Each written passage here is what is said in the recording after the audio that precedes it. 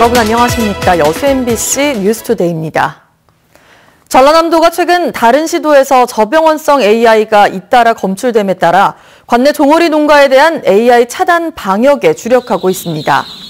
전라남도는 AI 발생 우려가 높은 종어리 농장 17곳에 내년 1월 말까지 방역 초소를 설치 운영하고 24시간 근무자를 배치해 출입자 통제와 출입 전 방역 소독을 실시하는데 예비비 2억 원을 긴급 지원했습니다.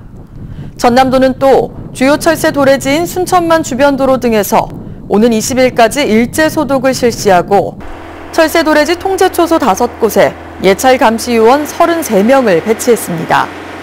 한편 농식품부는 지난 4일 순천만에서 채취한 야생조류 분변에서 AI 항원이 검출됐다며 조만간 고병원성 여부를 최종 판정할 계획입니다.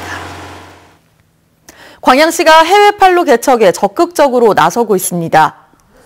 광양시는 지역 우수 농특산물의 해외팔로 개척을 위해 판촉 활동을 전개한 결과 홍콩과 중국 등에서 매실 가공품 등 100만 달러 이상의 수출에 나서게 됐다고 밝혔습니다. 광양시는 지역의 우수 농특산물이 해외 시장에서 지속적으로 성장할 수 있도록 지속적인 모니터링과 지원을 강화할 계획입니다. 혹시 wellness 관광이라고 들어보셨나요? 건강과 치유를 추구하는 새로운 관광 트렌드인데요. 볼거리 위주의 전남 동부권에서도 wellness 관광 거점화가 시도됩니다. 박민주 기자입니다. 밤바다와 섬으로 해양 관광의 중심지로 떠오른 여수. 순천만과 국가 정원으로 생태 관광의 1번지가 된 순천.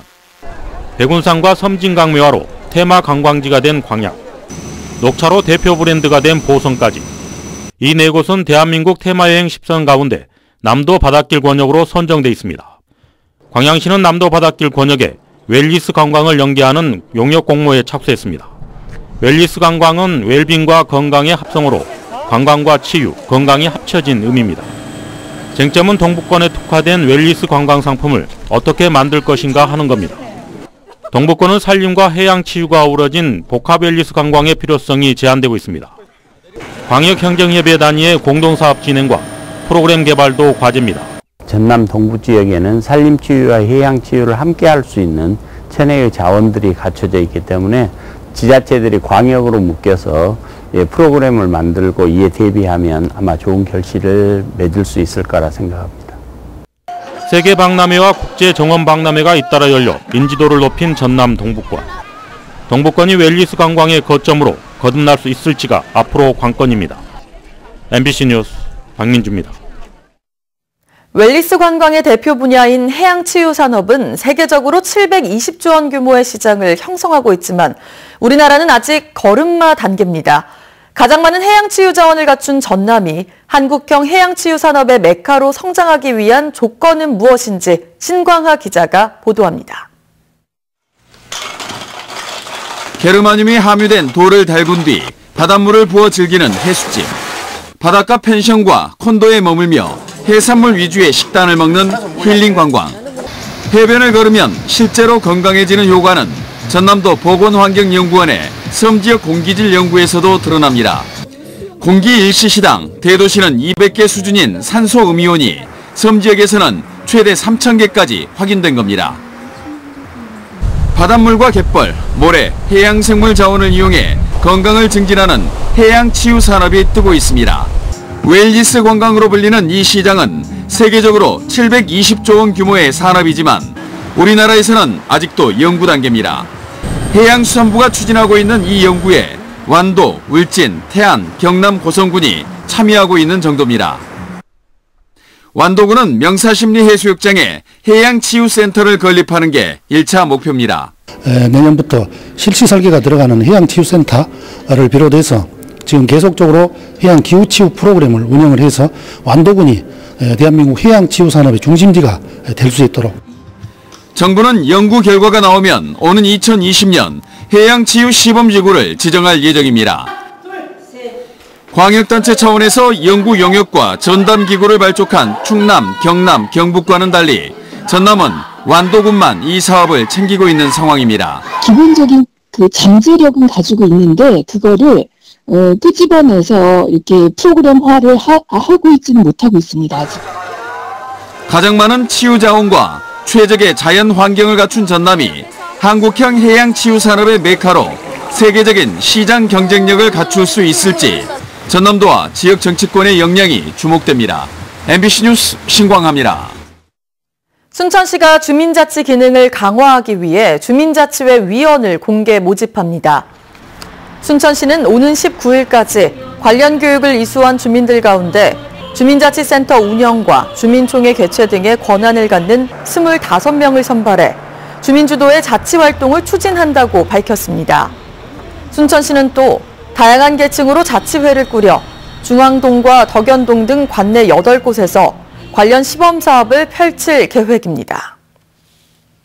경찰이 수학기 방범 활동을 강화한 결과 농산물 절도가 줄어든 것으로 나타났습니다. 전남지방경찰청은 지난 9월부터 석 달 동안 도내 140여 곳의 농산물 절도 취약 지역에서 자율방범 실시와 CCTV 증설 등을 추진해 지난해보다 30% 가까이 관련 범죄가 줄었다고 밝혔습니다.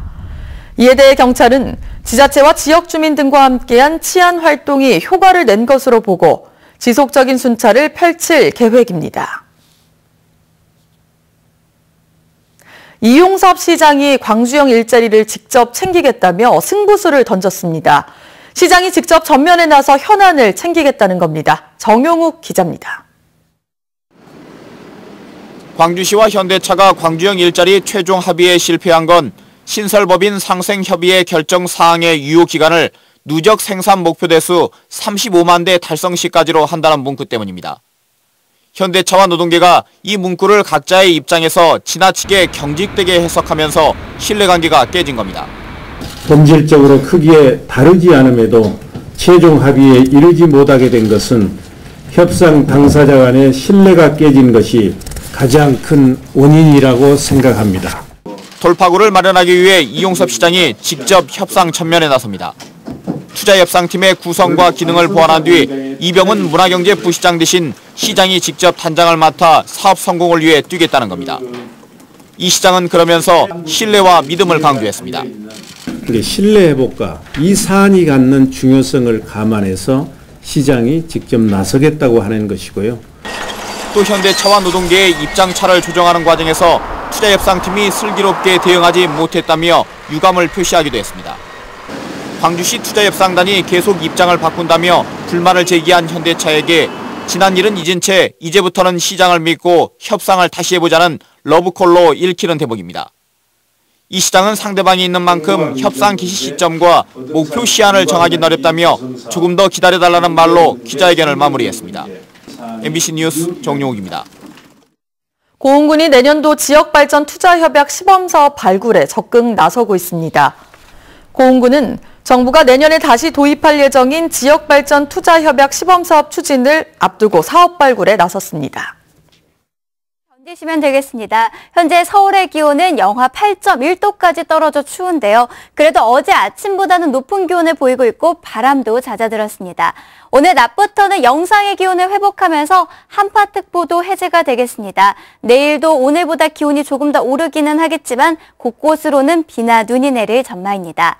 비와 눈이 오기 전까지는 건조한 날씨가 계속되겠습니다. 서울을 포함한 수도권과 동쪽 지방으로는 건조특보가 이어지고 있고요. 오늘 미세먼지 농도는 전국에서 보통에서 좋음 단계로 공기가 깨끗하겠습니다. 활기찬 하루 되세요. 날씨였습니다.